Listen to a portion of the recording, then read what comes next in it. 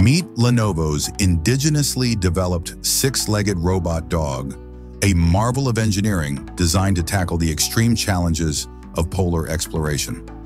Recently tested near Zhongshan Station, this robotic pioneer has successfully navigated treacherous ice sheets, showcasing a combination of stability, endurance, and adaptability that could revolutionize how scientific research is conducted in Earth's harshest environments. At the heart of the robot's success are its specially designed shoes, crafted to defy the icy grip of Antarctica.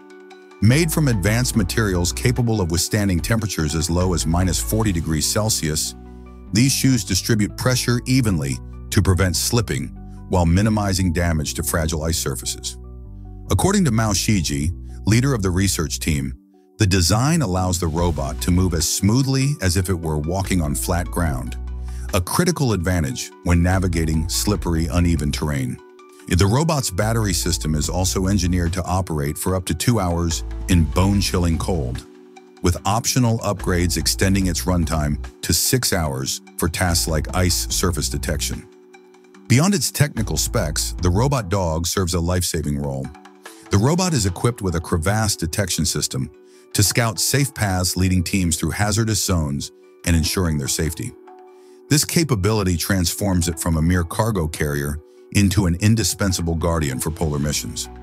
Looking ahead, researchers aim to expand its role further. Plans include integrating underwater robots and drones to enable collaborative tasks like multi-point sampling and mapping, and creating a network system capable of tackling complex research challenges. Traditional navigation methods like GPS and visual systems falter in the featureless white expanse.